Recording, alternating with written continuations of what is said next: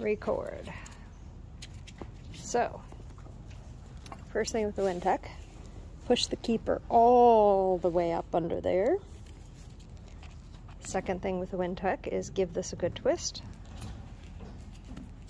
Okay, so now I've twisted it. Third, grab the strap with your right hand, run it all the way up so that it's up past the hole. And I think we're on about fourth item.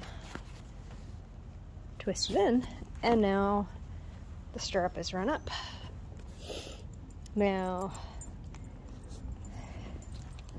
put it down, twist, pull down, turn it over, take a look. I'm gonna put a fresh R for right marking. This was my old one, but this is where I think it needs to be currently. Yes, the one above R, the old R, which I'm gonna make it the new R tomorrow with a fresh coat of paint.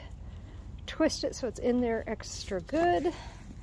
Last step, grab the keeper, put it down. There we go, now it's not gonna fall out.